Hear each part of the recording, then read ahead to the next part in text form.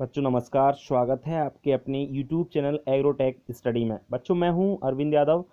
बच्चों, मैं लेकर आया हूँ एम पी की क्लासें। बच्चों, आप जैसे बच्चों की डिमांड थी कि, सर पी की क्लासें चलवाइए या तैयारी करवाइए तो बच्चों, मैं पूरी कोशिश करूँगा कि पर डे आपको दो से तीन वीडियो मैं आपको अपलोड कर सकूँ और अपलोड करने के बाद आप उनको अच्छी तरीके से पढ़ें, चीज़ों को समझते चलें और पूरा कोर्स कराने की मेरी पूरी कोशिश रहेगी कि मैं आपका पूरा कोर्स यहाँ पर करा सकूँ। ठीक है ना? बस आप पढ़ते चलिए। बच्चों, अगर आप हमारे यूट्यूब चैनल पर नए जुड़े हैं तो चैनल को सब्सक्राइब ज़रूर की, कर लीजिए। सब्सक्राइब करने के बाद बेल आइकन को दबाना बिल्कुल ना भूलें, जिससे आपको जो नया वीडियो मिले, उसका नोटिफिकेशन सबसे पहले मिल सके। तो बच्चों, आज के वीडियो में एनिमल हस्बेंड्री का हम लेकर आएँ और जिसमें हम आपको बताएँगे बकरी की नस्लें ब्रीड ऑफ़ गॉड बच्चों, आपको अगर पुराने वाले जो वीडियो हैं वो देखनी है पीएटी से रिलेटेड तो आप हमारी चैनल की प्ले लिस्ट में जा करके उन वीडियो को देख सकते हैं, जिसमें हमने काफ़ी पीएटी की क्लासें करा दी हैं। चलिए, इस वीडियो की हम लोग देर ना करते हुए अब इसकी शुरुआत कर लेते हैं। बच्चों, बकरी की नस्लों के बारे में हम लोग जानना है। सबसे पहले भारतीय नस्लों के बारे में हम जानेंगे कि दो तरह की नस्लें होती हैं, भारतीय नस्लें और विदेशी नस्लें। तो भारतीय नस्ल में सबसे पहले हम बात करेंगे जमुना पारी। जमुना पारी जो बकरी है, इसका उत्पत्ति स्थल की बात करें तो इसका जो ओरिजन है वो है इटावा, उत्तर प्रदेश। ये यहाँ पर पाई जाती है। याद रहे, उत्पत्ति स्थान जमुना पारी बकरी का है उत्तर प्रदेश। जमुना पारी बकरी सबसे, ध्यान रखें इम्पोर्टेंट बकरी है। याद रखना है आपको, यह बकरी की श्रेष्ठ दो प्रयोजनीय नस्ल है। दो प्रयोजनीय नस्ल का मतलब होता है, ये दूध भी देती है और इससे मांस भी प्राप्त होता है। मतलब डबल पर्पज आपकी ये ब्रीड है। ठीक है ना? याद रहे, ये डबल पर्पज श्रेष्ठ है सबसे। ये भी आपको याद रखना होगा। नेक्स्ट है बच्चों, इसके कान घड़ी के पेंडुलम जैसे लंबे घुमावदार होते हैं। इसका जो मेन करेक्टर वो ये है कि इसके जो कान होते हैं, घड़ी के पेंडुलम जो आप घड़ी होती है ना, आपकी दीवार घड़ी, उसमें जो नीचे लटका रहता है पेंडुलम कई घड़ियों में होता है, कई में नहीं होता है। पेंडुलम जो लटका हुआ होता है, जो मटकता रहता है, जैसे लंबे होता है कान होते हैं और घुमावदार इसके काम होते हैं। पीछे की ओर ये घूमे रहते हैं लंबे लंबे इसके कान पाए जाते हैं जमुनापारी बकरी में। नेक्स्ट है बच्चों, इसकी रोमन नाक, तोते जैसा मुँह होता है, ये याद रखना है। विशेष पॉइंट कई बार आपके पीएटी एग्ज़ाम में पूछ लिया गया है कि बताइए रोमन नाक किस बकरी की होती है।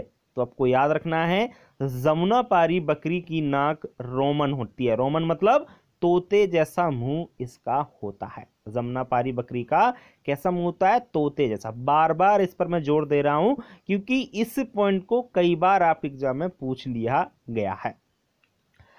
बच्चों, इसके पिछले पैरों पर लंबे बाल होते हैं। बिल्कुल, बच्चों, जमुना पारी बकरी के पिछले पैरों पर बड़े बड़े लंबे लंबे आपके बाल पाए जाते हैं। तो बच्चों, ये इसके मेन करेक्टर हैं, इनको आप लोग याद रखेंगे और इन्हीं से ही प्रश्न बनता है। आप एग्ज़ाम के बताइए, लंबे बाल किस बकरी की पहचान है? पीछे पैरों पर लंबे बाल किसके होते हैं? तो ध्यान रखें, जमुना पारी बकरी के लंबे बाल पाए जाते हैं। रोमन नाक और घुमावदार आपके कान पेंडुलम जैसे। ठीक है ना? उत्पत्ति स्थान जनरली सब जानते हैं, इटावा उत्तर प्रदेश होता है। तो ये है आपकी भारतीय नस्ल की पहली नस्ल जमुना पारी बात करते हैं आगे। बच्चों, दूसरी नस्ल है बरबरी। बरबरी नस्ल का उत्पत्ति स्थान सोमालिया, अफ्रीका है, जनरली वैसे तो। कहाँ पर है उत्पत्ति स्थान? सोमालिया, अफ्रीका माना जाता है बरबरी नस्ल का। लेकिन ये आपके यहाँ, भारत में भी ये कई जगहों पर पाई जाती है। तो कुछ वैज्ञानिकों का कहना है कि इसका उत्पत्ति स्थान भारत है। ठीक है ना? इस बात का आप विशेष याद रखेंगे। बच्चों, यह दूध उत्पादन के लिए पाली जाने वाली नस्ल है। जनरली बरबरी बकरी को दूध उत्पादन के लिए पाला जाता है। स्पेशल के इससे ज़्यादातर दूध अधिक मिलता है तो इसलिए दूध के लिए पाली जाती है। यह मुख्यतः शहरों में पाली जाती है। कहाँ पर पालते हैं इसको? ध्यान रखें, इस सिटी एरिया में। आपने देखा होगा कि जो कस्बे होते हैं, बड़े शहर होते हैं, वहाँ पर ये आपको बकरी मिलती है। बहुत सारे लोगों ने देखा होगा, इसलिए इसे शहरी बकरी के नाम से भी जाना जाता है। किस नाम से जानते हैं इसको? शहरी बकरी, सिटी ऑफ़ गोट कह सकते हैं इसको। ध्यान रखें आप लोग। एक ब्यांत में दो बच्चे देना इसकी मुख्य पहचान है। वैसे तो अपन ने देखा है कि कई देसी बकरियाँ भी एक बार में दो बच्चे दे देती हैं। लेकिन बरबरी बकरी हर बार, एक बार में दो बच्चे देती है। ये याद रखें, एक ब्यात में कितने बच्चे मिलेंगे? बर्बरी बकरी दो बच्चे पैदा करती है। इसकी मुख्य पहचान है। याद रहे, कई बार एग्ज़ाम में पूछा जाता है कि, बच्चा, ये कौन सी नस्ल एक बार में दो बच्चे पैदा करती है? तो आपको याद होना चाहिए बर्बरी बकरी एक बार में दो बच्चे पैदा करती है। बच्चों, इसके कान छोटे हिरण के जैसे होते हैं। ये भी याद रखें, जो बर्बरी बकरी होती है, इसके कान बड़े नहीं होते, बिल्कुल छोटे होते हैं और हिरण के जैसे होते हैं। ठीक है? और इसका रंग सफ़ेद भूरा होता है, अपन ने सिटी में इसको देखा है।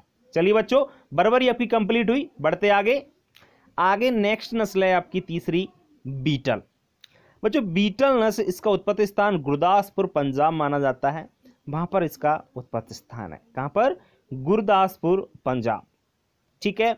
बीटल नस्ल जमुना पारी जैसी दिखाई देती है। याद रहना चाहिए आपको। पूछा जाता है कई बार कि बताइए कौन सी नस्ल जमुना पारी जैसी दिखती है? तो याद रहे, बीटल बकरी आपकी जमुना पारी जैसी दिखती है।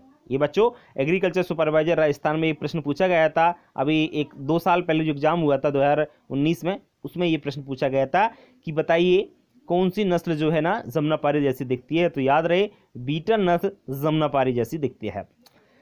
इसकी जो मुख्य पहचान है, इसके नर में दाढ़ी पाई जाती है। दाढ़ी देखी हुई आपने? लंबे बाल होते हैं, जो नर नर मतलब जो आपका बकरा होता है ना, उसके में दाढ़ी पाई जाती है। इसकी जो मुख्य पहचान है, बीटल नस्ल की। ध्यान रहे, कई बार पूछा जाएगा जाता है कि बताइए किस नस्ल के नर में दाढ़ी पाई जाती है? तो याद रहे आपको, बीटल नस्ल के नर में या बकरे में दाढ़ी पाई जाती है। ठीक है ना? मेल में पाई जाती है, फीमेल में नहीं पाई जाती। ठीक है ना? बकरी में नहीं पाई जाती। ये आपको याद होना चाहिए। चलिए, चौथी बात करते हैं, चौथी नस्ल की ब्लैक बंगाल। ब्लैक बंगाल के बारे में ज़्यादातर ये पूछा जाता है कि मांस के लिए किसको पाला जाता है? तो मांस के लिए जो स्पेशल नस्ल है, वो है ब्लैक बंगाल। याद रहें, ये बंगाल में पाई जाती है जनरली। उत्पत्ति स्थान भी इसका पश्चिम बंगाल है। ये आपको थोड़ा सा याद हो, ब्लैक बंगाल के बारे में ज़्यादातर अभी तक यही पूछा गया है कि बताइए, मांस वाली सबसे अच्छी नस्ल कौन सी है? तो याद रहे, ब्लैक बंगाल मांस के लिए सबसे अच्छी नस्ल है। पांचवी नस्ल है बच्चों, मारवाड़ी। मारवाड़ी के बारे में जनरली सब जानते होंगे, मारवाड़ राजस्थान में ये पाई जाती हैं ज़्यादातर, और इसका उत्पत्ति स्थान मारवाड़ राजस्थानी है। इसके शरीर पर घने लंबे बाल होते हैं। इसकी जो मुख्य पहचान है, वो ये है कि इसके शरीर जो होता है ना, थोड़ी हाइट थोड़ी इसकी ज़्यादा होती है और ये अन्य बकरी, जो देसी नस्ल होती है सेम ऐसी होती है वैसे, ब्लैक कलर में होती है जनरली, लेकिन ये जो होती है ना, इसके शरीर पर बड़े बड़े लंबे, घने बाल रहते हैं। ठीक है? यह नस्ल बीमारियों के प्रति प्रतिरोधी है। यह नस्ल क्या है? इसमें बीमारियाँ कम लगती हैं मतलब इसको रोग इसमें कम लगते हैं। इसकी मुख्य पहचान है मारवाड़ी में अपने रोगों से लड़ने की क्षमता इसमें सबसे अधिक पाई जाती है। तो बच्चों आपको जितनी भी देसी नस्ल थी भारतीय नस्ल थी उन सभी के बारे में मैंने आपको बता दिया है कि जो आपकी आ, नस्ल हैं मारवाड़ी हो चाहे बर्बरी बीटल या जमुनापारी सभी के बारे में डिटेल से मैंने आपको समझा दिया है। इनसे जो भी प्रश्न बनता है वो आप अच्छी प्रकार से समझ गए होंगे कि किस प्रकार से कौन सा प्रश्न बन सकता है। अब अब आप, आपको बताएँगे विदेशी नस्लों के बारे में। विदेशी नस्ल कौन कौन सी होती हैं? देखिए, सबसे पहले हम बात करेंगे बच्चों अंगोरा नस्ल की। अंगोरा नस्ल का उत्पत्ति स्थान तुर्की है। अंगोरा नस्ल का उत्पत्ति स्थान कहाँ है? तुर्की। ओरिजिन इसका तुर्क है। इसके बाल सफ़ेद एवं मुलायम होते हैं। और बच्चों इसके बालों से मोहिर नामक ऊन बनाई जाती है। सबसे इम्पोर्टेंट पॉइंट अंगोरा नस्ल का, कि बताइए क्वेश्चन किस प्रकार बनता है? कि बताइए मोहिर नामक ऊन किस किस बकरी से प्राप्त होती है? मोहिर, याद रखे, अंगोरा नस्ल की जो बकरी होती है, इसकी जो बाल होते हैं ना, उसको मोहिर कहते हैं। क्या कहते हैं? मोहिर, और जिससे ऊन बनाई जाती है। इस ऊन का विभिन्न प्रकार कपड़े बनाए, सब जानते हैं कि ऊन का उपयोग विभिन्न प्रकार के आपके कंबल जो भी कपड़े होते हैं, वो बनाए जाते हैं, ऊनी कपड़े कह सकते हैं, वो बनाए जाते हैं। तो विशेष याद रखें, ये पॉइंट आपका तीसरा वाला बहुत इंपॉर्टेंट है, इसका मोहेर वाला। ओके? याद रहे आपको अंगोरा से। अब बात करते हैं हम दूसरी नस्ल के बारे में। दूसरी बकरी की विदेशी नस्ल है अल्पाइन। अल्पाइन का उत्पत्ति स्थान फ्रांस, यूरोप है और इसे दूध के लिए मोस्टली पाला जाता है। ये कोई ज़्यादा इंपॉर्टेंट नहीं है, लेकिन कई बार ये पूछा जाता है कि बताइए अल्पाइन का उत्पत्ति स्थान कहाँ पर है? तो अल्पाइन का जो उत्पत्ति स्थान है, वो है आपका फ्रांस, यूरोप।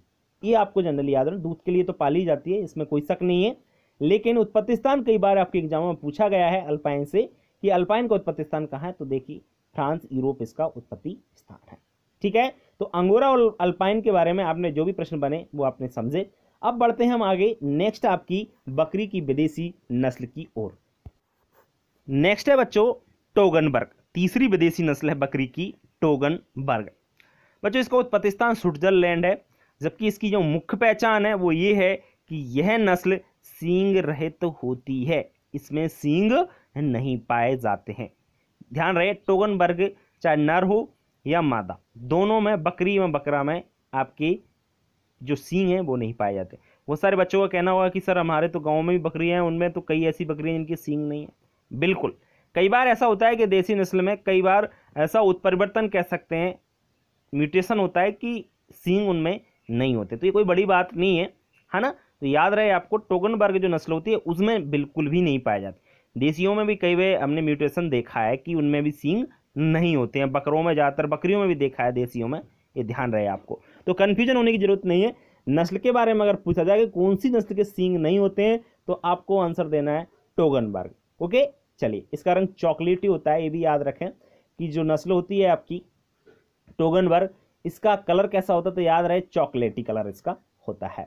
यह एक दुधारू नस्ल है और लगभग पाँच से छः लीटर दूध प्रतिदिन ये देती है। अच्छी नस्ल है दूध के मामले में देखा जाए, लगभग पाँच से छः लीटर दूध इसको प्रतिदिन मिल जाता है।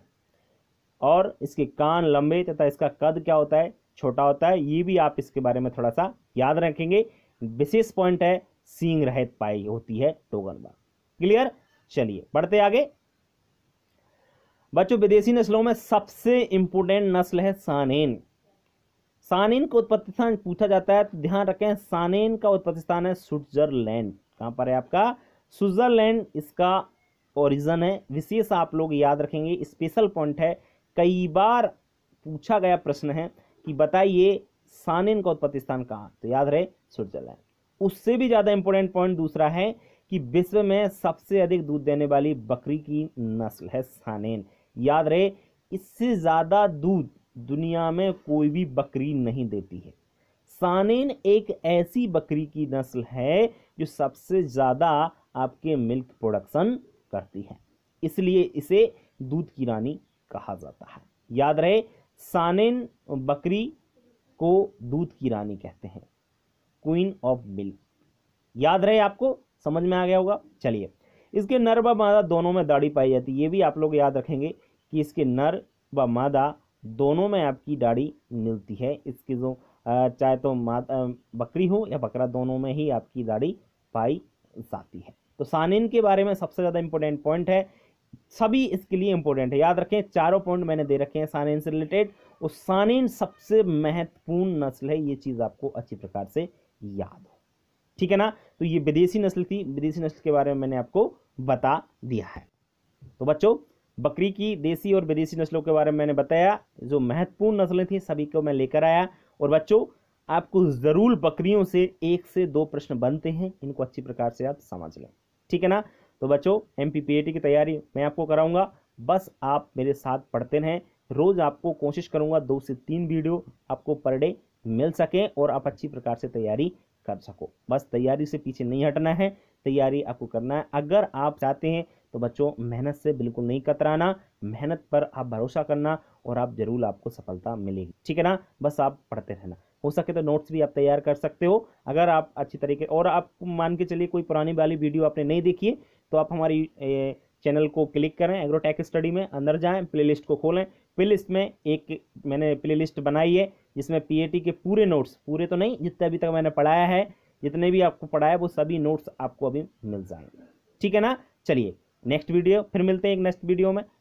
तब तक के लिए बच्चों, नमस्कार।